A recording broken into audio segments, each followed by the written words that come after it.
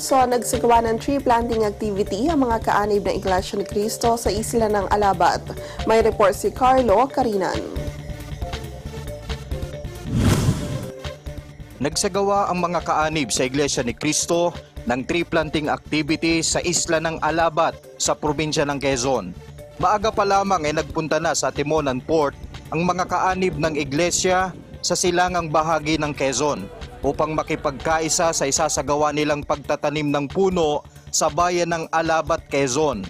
Sumakay sila ng Roro mula sa Timonan Port bandang alas 10 ng umaga at nakarating ng Alabat Port sa ganap na alas 11 ng tanghali.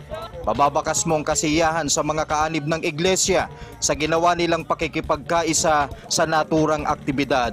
Bago sila magsimulang magtanim, nagdaos muna ng boodle fight ang mga miyembro nito upang makakain ng tanghalian. Pagkatapos, nagtungo sila sa venue, dala ang mga seedlings ng mga itatanim nilang puno. Ayon sa ilang miyembro ng iglesia na aming nakapanayam, lagi silang nakikipagkaisa sa kanilang namamahala sa mga aktibidad na inilulunsad nito.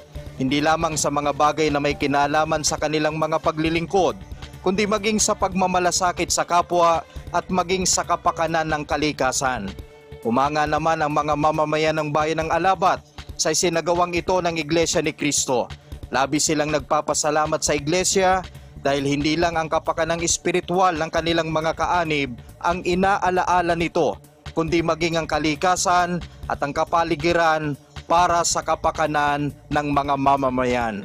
Mula dito sa isla ng Alabat sa probinsya ng Quezon, Carlo Carinan para sa Eagle News, I'm one with 25.